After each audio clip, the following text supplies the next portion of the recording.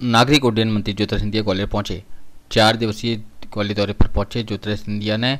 NCERT के syllabus में भारत शब्द उपयोग किए जाने पर विपक्ष के विरोध पर अपना विरोध बताया। उन्होंने कहा कि जब इंडिया नाम रखा गया तब कोई विरोध नहीं हुआ। मातृभूमि के नाम पर किसी के द्वारा विरोध करना मैं मानता हूँ यह देश का दुर्भाग्य है। सतपाल मलिक का राहुल गांधी द्वारा इंटरव्यू करने पर उन्होंने कहा कि अब पत्रकारों की नौकरी खतरे में है। राजस्थान में कांग्रेस प्रदेश अध्यक्ष के कर ईडी की कार्रवाई पर कहा कि मैं मध्यप्रदेश में हूँ, मध्यप्रदेश के चुनाव अभियान में लगा हुआ हूँ। वहाँ कुछ ना कुछ हुआ है, इसलिए कार्रवाई चल रही है। वहीं उन्होंने कहा कि महिलाओं का बड़ा योगदान देश में है। दूसरी ओर महिलाओं के ऊपर अभद्र टिप्पणी नीचे दिखाने का कार्य कांग्रेस सदैव करती आई है। इस बार कांग्रेस का चेहरा महिला उजागर करेंगी। प्रदेश की साढ़े चार करोड़ महिलाएँ इस बार कांग्रेस को सबक सिखाएँगी। उन्होंने गौली चंबल दौरे पर कहा कि अभी मैं गौली चंबल अंचल की सभी विधानसभाओं के प्रवास पर हूँ। ग्रामीण और शहरी विधानसभा के दौरे पर हूँ। जनता का आशीर्वाद मिले, इसलिए मैं निकला हुआ हूँ। खबर हर पल से उनकी यह बातचीत देखिए। हम लोगों का प्रयास निरंतर है।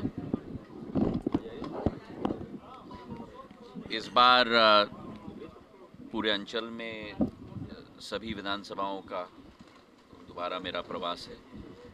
ग्रामीण भी और शहरी क्षेत्र भी। और हमारी यही कोशिश है कि जो पिछले तीन वर्षों में और जो पहले, पिछले अठारह वर्षों में, दोनों कार्यकाल के जो विकास कार्य वो जनता तक हम लोग पहुँचाएँ और जनता का आशीर्वाद भी हम लोग ग्रहण कर पाएँ।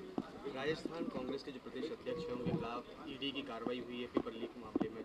मैं मध्य प्रदेश देखो मैं मध्य प्रदेश में हूँ मैं मध्य प्रदेश के चुनाव अभियान में लगा हूँ।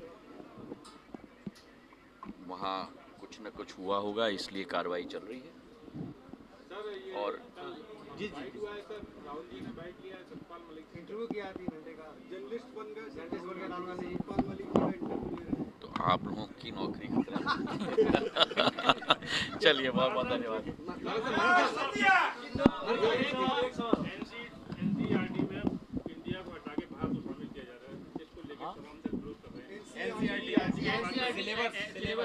मुझे समझ में नहीं आ रहा कि विरोध किस बात की है।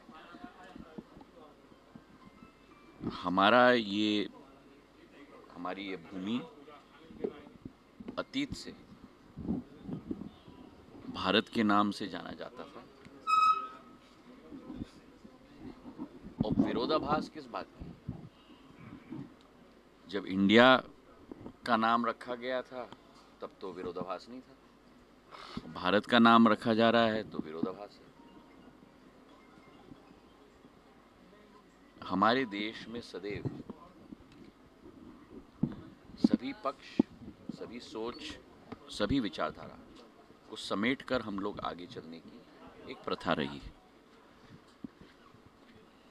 और मातृभूमि के नाम पर किसी के द्वारा विरोधाभास का स्वर उठाया जाए। मैं मानता हूँ कि ये देश हित में भी नहीं होगा।